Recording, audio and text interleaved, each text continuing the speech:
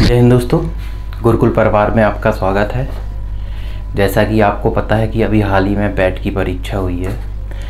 बहुत कठिन पेपर बनाया गया था, है ना? बिल्कुल हटके सिलेबस था। मतलब जो पिछले टर्न, साल का पेपर था, उससे बिल्कुल अलग ही पेपर बनाया था, है ना? लड़के बहुत परेशान हैं, बहुत लड़के परेशान हैं। उनका कहना है कि पेपर बहुत गंदा हुआ अच्छा नहीं हुआ, ये सब चीज़ें। परेशान होना लाजमी है। क्योंकि हम लोग साल भर मेहनत करते हैं, है ना? और पढ़ते हैं और फिर भी एग्ज़ाम में अगर वो क्वेश्चन ना पूछा जाए तो कितना ख़राब लगता है। सारी मेहनत बेकार लगती है। लगता है, देखो, पिछली बार इतना अच्छा स्कोर था, इस बार तो बिल्कुल पेपर अच्छा नहीं हुआ। काफ़ी लड़के बहुत ज़्यादा परेशान है, पेपर देख के। बाकी पेपरों के लिए भी सोचते पता नहीं मेहनत कर रहे हैं, आगे भी ऐसा ही पेपर आया तो क्या होगा?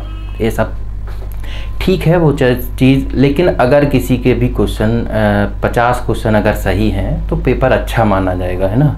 पचास के आसपास ही एवरेज स्कोर कर पाए लड़के, क्योंकि पेपर ही ऐसा आया था देखिए, एक बात समझिए।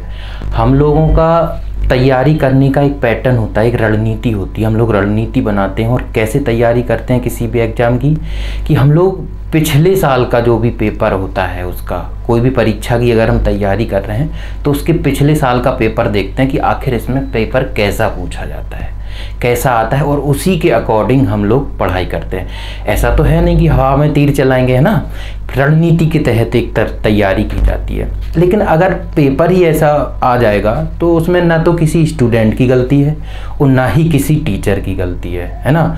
जिस हिसाब से पिछली साल के पेपर दो साल आए थे, उस हिसाब से तैयारी की गई थी और उसी हिसाब से तैयारी कराई गई थी और लड़का भी वही पढ़ता है है ना?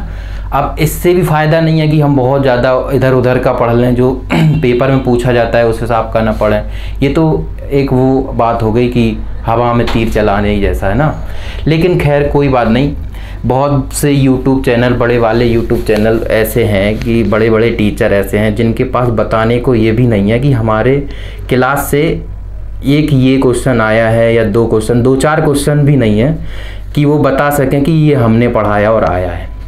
हमने आपके सामने एक छोटा सा प्रयास किया था। कुछ ही वीडियो अभी मेरे वीडियो यूट्यूब पे पड़े हैं, लगभग 25-30 वीडियो के आसपास यूट्यूब पे पड़े हैं। उन्हीं 25-30 वीडियो में हमारा पैट में कम से कम नहीं तो 25 ही 30 क्वेश्चन मिले हैं। सीधे सीधे, बिल्कुल सीधे सीधे 25-30 क्वेश्चन मिले हैं। हर वीडियो का, हर क्वेश्चन का स्क्रीनशॉट लाना संभव नहीं था। तो मैं कुछ क्वेश्चन थे जिनका हम, मैं स्क्रीनशॉट लेकर आया हूँ, जो आसानी से मिल गए। आज से जो पहले की क्लास मतलब जो हमारी लास्ट क्लास है 27 नंबर क्लास उस क्लास से दो क्वेश्चन पूछे गए हैं।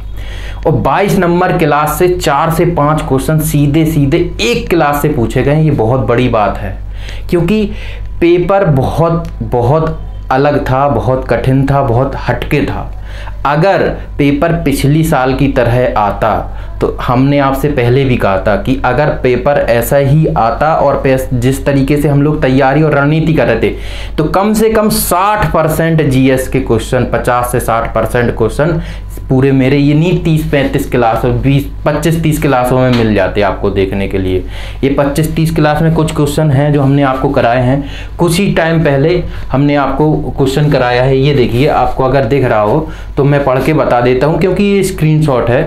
अभी पैट की परीक्षा में पूछा गया है, यहाँ पे मराठा प्रमुख और उनके संबंधित क्षेत्र पूछे गए हैं। सिंधिया, होलकर, गायकवाड़ और भोसले तो अभी हमने कुछ ही टाइम पहले, ज़्यादा नहीं, ये 22 नंबर क्लास या शायद हो सकता है उससे पहले भी, पहले की क्लास है 22 तेईस नंबर की। उसमें हमने कराया था, यहाँ चार हैं, हमने पाँच दिए थे। पेशवा, गायकवाड़, सिंधिया, होलकर और घोसले भोसले इन सब के ये क्षेत्र दिए थे, ये क्वेश्चन देखिए। सीधा का सीधा, यहाँ पे हमने पाँच दिए, यहाँ ओनली चार हैं। मतलब मेरे प्रश्न में एक एक्स्ट्रा है पेशवा, है ना? ये देखिए, पूरा पूरा क्वेश्चन छपा है। और दिखाता हूँ मैं आपको। यहाँ पे देखिए, यहाँ पे पूछा गया था किस स्थान पर राणा सांगा और और किसका? बाबर। बाबर और राणा सांगा के बीच में युद्ध हुआ था। तो यहाँ पे आंसर खानवा था। हमने अभी कुछ युद्ध पढ़ाए थे। हल्दी घाटी का युद्ध, खानवा का युद्ध, तराइन का युद्ध और सारंगपुर का युद्ध।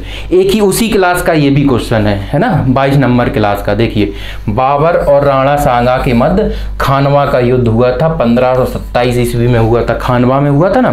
तो ये देखिए और भी क्वेश्चन आपको दिखाता हूँ, और दिखाता हूँ मैं आपको। ये देखिए प्रश्न पूछा गया खिज्र खां। खिज्र खां किस वंश से संबंधित है? सैयद वंश। ये देखिए, यहाँ पे खिजर खां का बताया हमने, सैयद वंश। है ना? इसमें पूछा था प्रश्न में, हमारे प्रश्न में कि गुलाम वंश से संबंधित है तो इल्तुतमिश गुलाम वंश से था। बाकी हमने बताया था खिजर खां सैयद वंश से है, अलाउद्दीन खिलजी अलाउद्दीन खिलजी वंश से है और फिरोज शाह तुगलक वंश से है। और देखिए, आपको और प्रश्न दिखाता हूँ। पूरे पूरे जो सीधे सीधे पूछेगा, ये देखिए, ये प्रश्न देखिए। ये प्रश्न है, समुद्रगुप्त का ये प्रयाग प्रस्तुति अभिलेख, है ना? अभी ये पूछा गया, ये देखो हमने पढ़ाया था। इलाहाबाद स्तंभ प्रयाग प्रस्तुति और इसमें संस्कृत भाषा भी दी गई। देखिए, ये देखिए, हमने बताई थी इसकी भाषा क्या है, बेटा? संस्कृत है ना? और बाकी अभिलेख भी बताए थे, जूनागढ़, मेहरौली, हाथी गुफा, है ना? ये सीधे सीधे प्रश्न हमारी परीक्षा, हमारी क्लास से आए हैं। इसको देखिए, ये देखो कितना अच्छा प्रश्न है, देखिए। पूछ रहा है, कौन सा अंतर्राष्ट्रीय न्यायालय लंदन में है? तो देखो, हमने यहाँ पे बताया था, हमारे प्रश्न में क्या था? अंतर्राष्ट्रीय न्यायालय, ये क्या था? अंतर्राष्ट्रीय समुद्री संगठन का न्यायालय लंदन में है। पेरिस का न्यायालय बताया था। पेरिस में कौन सा है?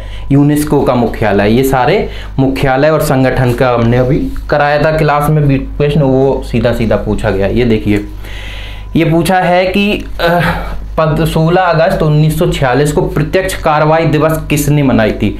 तो हमारा प्रश्न क्या था कि कैबिनेट मिशन योजना ने पाकिस्तान की मांग को मतलब किस मिशन या योजना ने पाकिस्तान की मांग को अमान्य कर दिया था? तब हमने आपको बताया था कि जो कैबिनेट मिशन था, कैबिनेट मिशन, ये जब भारत में आया था, कैबिनेट मिशन कब आया था? चौबीस मार्च 1946 को ये भारत में आया था।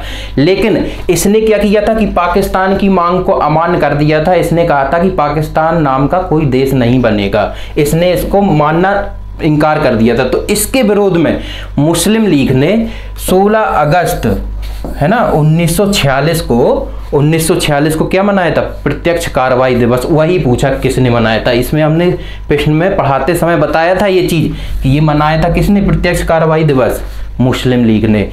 किसके विरोध में? क्योंकि कैबिनेट मिशन ने पाकिस्तान की मांग को अमान्य कर दिया था, इस वजह से। आगे देखिए। ये देखिए प्रश्न पूछा है कि पंचायती राज दिवस पंचायती राज व्यवस्था राजस्थान के किस ज़िले से लागू हुई? हमने यहाँ पर लाया है। पंचायती राज प्रणाली में श्रेणी बताई है। तीन श्रेणियाँ हैं, है ना? ग्राम पंचायत, क्षेत्र पंचायत, जिला पंचायत। हमने यहाँ सन भी बताया है। सन उन्नीस सौ उनसठ में राजस्थान के नागौर ज़िले से, है ना? नागौर ज़िले से। और समिति कौन थी? बलवंत राय मेहता समिति। देखिए, आप सेम सेम क्वेश्चन और देखते चलिए, जल्दी जल्दी दिखाते जाएँगे। फ्रंटियर गांधी यहाँ पे एक प्रश्न पूछा था, खुदाई खिदमतगार नामक संगठन की स्थापना किसने की थी? देखिए, हमने बताया था, ये प्रश्न था हमारा फ्रंटियर गांधी किसे कहते हैं? इन्हीं को सीमांत गांधी भी कहते हैं और इन्होंने अब्दुल गफ्फार खान, इन्होंने उन्नीस सौ तीस में, ये देखिए प्रश्न, खुदाई खिदमतगार नामक संगठन की स्थापना की थी। देखो, सीधा सीधा प्रश्न मिला है।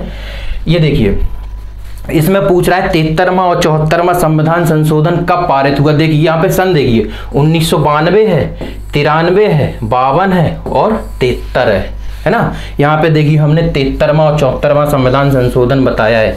है ना? उन्नीस सौ देखिए बेटा, उन्नीस सौ बानवे, है ना? उन्नीस सौ बानवे दिया है तो आंसर कर सकते थे, क्योंकि बानवे का सिर्फ़ एक ही ऑप्शन है, ठीक है? और ग्यारहवीं अनुसूची तैतीस प्रतिशत महिलाओं को आरक्षण प्रश्न, हमारा प्रश्न क्या था कि महिलाओं को पंचायत में आरक्षण किस संविधान संशोधन द्वारा दिया गया था? देखिए, यहाँ पे सीधा सीधा प्रश्न हम बता रहे हैं आपको बड़ी बड़ी कोचिंग वाले बड़े बड़े यूट्यूबर जो सालों से पढ़ा रहे हैं, उनके पास दिखाने के लिए चार क्वेश्चन नहीं है कि वो दिखा सकें कि ये हमारी क्लास से आए हैं। आप हमारी मात्र 25 वीडियो हैं 25 वीडियो चैनल पे पढ़ी हैं, उनमें से आप प्रश्न देखिए कितने अच्छे और सीधे सीधे पूछे गए ये देखिए, शीत ऋतु में तमिलनाडु के तटीय क्षेत्रों में वर्षा किस मानसून के कारण होती है?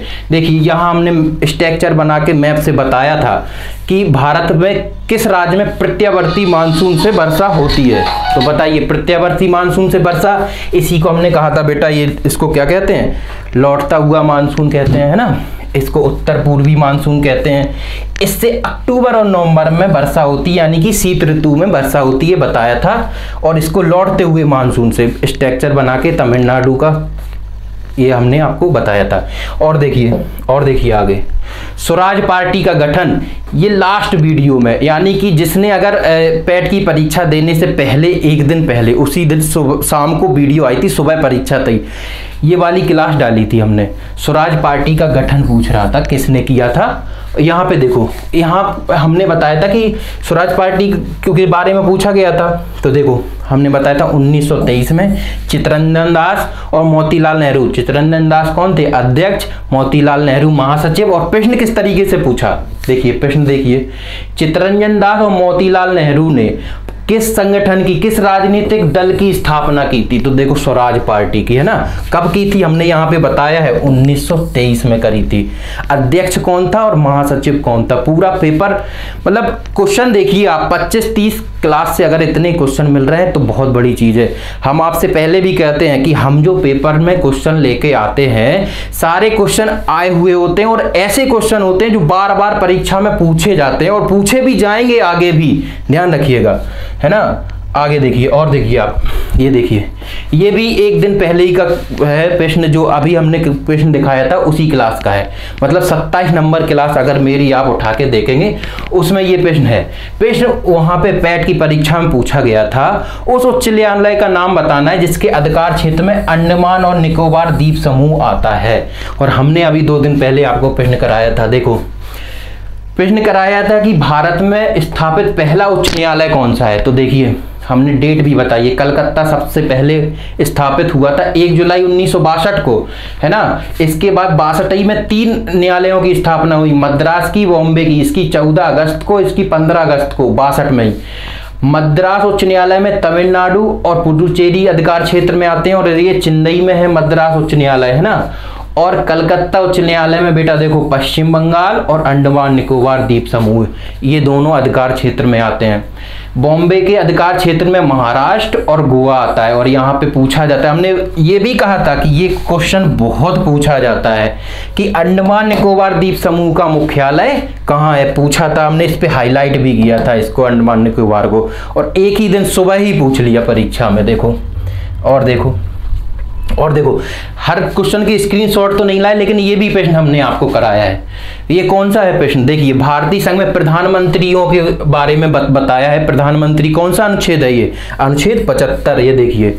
और देखो और देखो प्रत्येक वर्ष कौन सा ये देखो ऊर्जा संरक्षण दिवस ये भी कराया आप जल्दी जल्दी देखते जाइए।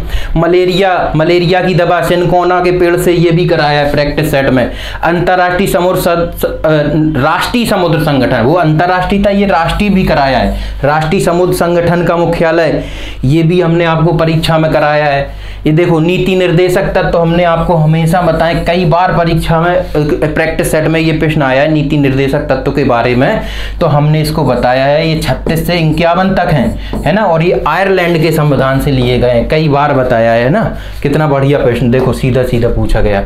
ये देखिए 13 दिसंबर 1946 को उद्देश्य प्रस्ताव किसने किया था? जवाहरलाल नेहरू ने किया था उद्देश्य प्रस्ताव। और देखिए, अगला प्रश्न देखिए।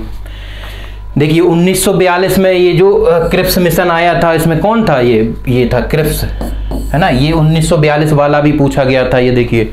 क्रिप्स मिशन और देखो, निम्नलिखित में हर्षवर्धन की पहली राजधानी कितनी बार बताया? ये थानेश्वर थी पहली राजधानी, है ना? ये देखिए ये देखिए, और प्रश्न देखो, केंद्रीय भाषा। देखिए, केंद्रीय भारतीय भाषा संस्थान, ये भी हमने आपको बताया, प्रश्न कई बार पढ़ाया है। कहाँ पे है? ये है कर्नाटक में, है ना? मैसूर। ये देखिए, ये भी प्रश्न पढ़ाया है। ये देखो, राष्ट्रव्यापी जीएसटी किस समिति से कराए मतलब इसमें समिति का विचार पूछा है किस समिति ने इसका विचार दिया था, ये भी प्रश्न कराया है। ये देखिए, भारतीय राष्ट्रीय कांग्रेस और मुस्लिम लीग के बीच समझौता हुआ था। कब हुआ था? लखनऊ में 1916 में, है ना? ये दोनों एक हो गए थे समझौता। किसने कराया था? जब उन्होंने तिलक ने, है ना? हाँ बाल गंगाधर तिलक ने ये समझौता कराया था। देखो, प्रथम चुनाव आयुक्त तो पूछा गया था। ये भी हमने बताया, सुकुमार सेन प्रथम चुनाव आयुक्त तो थे भारत के, ठीक है? ये देख लीजिए वीडियो ज़्यादा बड़ा ना हो, इस हिसाब से जल्दी जल्दी दिखाते जा रहे हैं। ये देखो, कितनी बार बताया, राष्ट्रपति के निर्वाचन मंडल में कौन भाग नहीं लेता? बेटा राज्य की विधान परिषद के सदस्य भाग नहीं लेते। क्यों नहीं लेते? ये भी बताया था। इसलिए नहीं लेते क्योंकि विधान परिषद हर राज्य में नहीं है। केवल कितने राज्यों में है? बेटा बताया है, सात राज्य छह राज्यों में बताया है। पहले सात में थी, अब अब केवल सात, छह राज्यों में है। पहले सात में थी। इसलिए हमने उनके नाम भी लिखे थे कि कौन कौन से छह राज्यों में विधान परिषद है। ये देखिए, गदर पार्टी का मुख्यालय कितनी बार बताया? गदर पार्टी के संस्थापक लाला लाजपत राय, है ना? और इनका मुख्यालय कहाँ था? सैन फ्रांसिस्को में था। अमेरिका में ठीक है? ये भी प्रश्न बताया है। ऐसे बहुत सारे प्रश्न हैं, बहुत सारे प्रश्न हैं ऐसे कि जो हम हम उसका स्क्रीनशॉट तो नहीं ला पाए, लेकिन कुछ प्रश्न के स्क्रीनशॉट जो हमें आसानी से मिल गए, वो हम आपके सामने लेकर आए हैं। आप बताइए 25 क्लास, मात्र 25-26 क्लास में आपको अगर 25 से 30 क्वेश्चन मिल गए, वो भी इस तरीके के पेपर में कि जहाँ ऐसा पैटर्न ऐसा पेपर जहाँ पे बड़े बड़े टीचर हाथ खड़े कर लिए, बोले, भाई, खुद एक्सेप्ट कर रहे हैं कि हमारी क्लास से कोई प्रश्न नहीं आया है। वहाँ पे अगर आपको 25-30 क्लास में 25-30 क्वेश्चन मिल गए तो ये बड़ी चीज़ है। आप, हम फिर आपसे कह रहे हैं, अगर यूपी पुलिस या यूपी एस या कोई भी एग्ज़ाम की तैयारी कर रहे हैं आप, और आपके एग्ज़ाम में जी के जी एस पूछा जाना है तो आप हमसे जुड़िए, हम आपको प्रैक्टिस सेट करवाएँगे। और पेपर अगर अपने पुराने पैटर्न पे आया तो 50 से 60 प्रश्न मेरी क्लास से आपको देखने को मिलेंगे। आज ये मैं आपके सामने दावा करता हूँ, ठीक है? आप यूपी पुलिस की तैयारी कर रहे हैं तो हम आपके लिए यूपी पुलिस का प्रैक्टिस सेट चला रहे हैं। तो आप जीएस की क्लास में जोड़ सकते हैं। बाकी इस वीडियो को देखिएगा, ज़्यादा से ज़्यादा शेयर करिएगा, ठीक है? जय हिंद।